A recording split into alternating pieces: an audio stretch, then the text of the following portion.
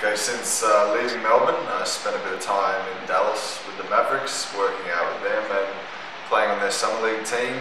Uh, I was also lucky enough to make the Boomers team that we went and played in the World Cup. And this last season, I was playing in Spain with Zaragoza. and Just finished that up about a month ago. Yeah, I'm really excited to have signed with Melbourne United for the upcoming season. Uh, I think we've got a good group of guys and a new exciting coach. So uh, to the to the season beginning and, and getting out on the training track and building the chemistry with the new teammates and my old teammates, and then uh, ready for the season to start. Yeah, obviously things have changed a little bit since last time I was here, and it was the Melbourne Tigers. But um, having spoken to everyone, everyone's really excited about the changes that have been made. Um, we had some pretty good crowds when I was with the Tigers, and uh, I know that the last game of the season was a sellout for United, so um, looking forward to plenty more sellouts at, at Hisense and, and whenever, wherever we play this year.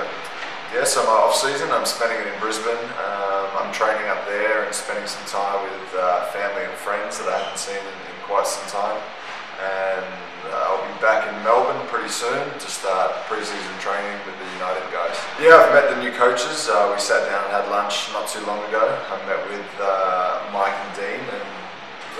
excited about the philosophies that we spoke about and uh, the way that they're going to handle the team this year. I think it's uh, it's a new and exciting brand of basketball, and all the Melbourne United fans are uh, they're going to be happy when they see the product that's out on the court. Yeah, just wanted to let you know I'm uh, really excited to be back. Looking forward to, to getting into pre-season with the guys, and can't wait to step out on the court in front of